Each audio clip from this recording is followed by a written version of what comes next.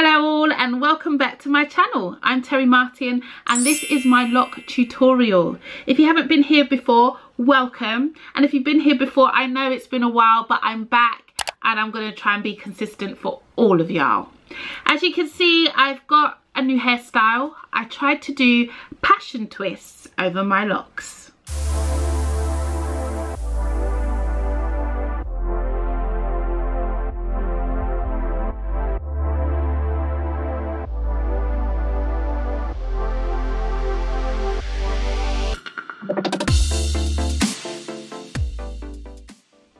So I saw that passion twists were all over my timeline and I thought, hmm, I wonder if I could do that over my locks. And just for you guys I had an attempt at it because I know sometimes trying out these things trial and error is a bit long especially when you have to go and buy the hair and so on and such forth. So this is what I'm here for. I'm here to try out things for you guys who have locks. I want to try something new because who said locks had to be boring? Hmm? I put them over my locks. Um, as you can see maybe on this side I've even left a few of my locks out because um, I ran out of hair.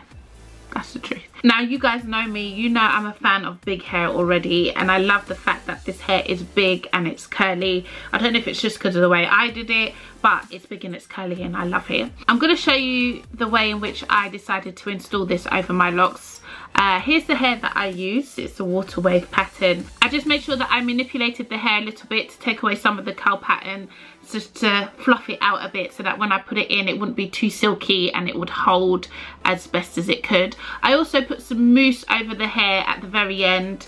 Um, mousse just helps it look more together again because once you've fluffed it up a bit it can look a bit wild. So the mousse helped to just bring it all back in and make it look neat again. So here I'm going to show you how I installed the hair.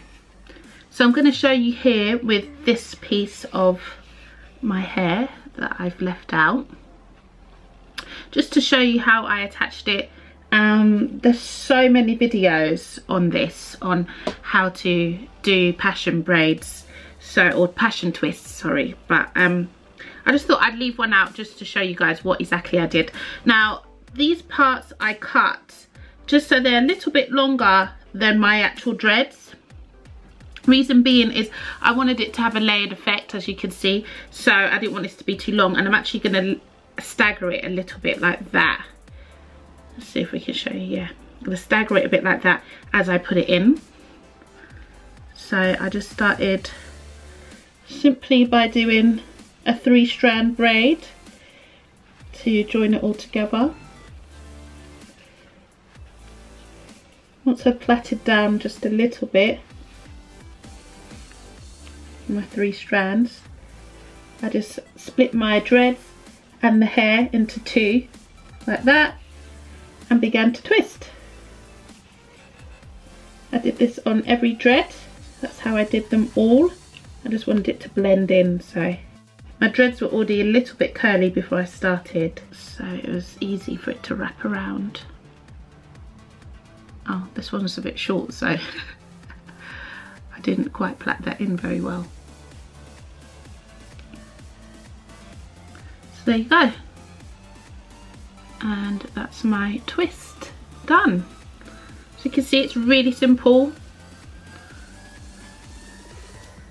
And I cut them down a little bit so it looks like this.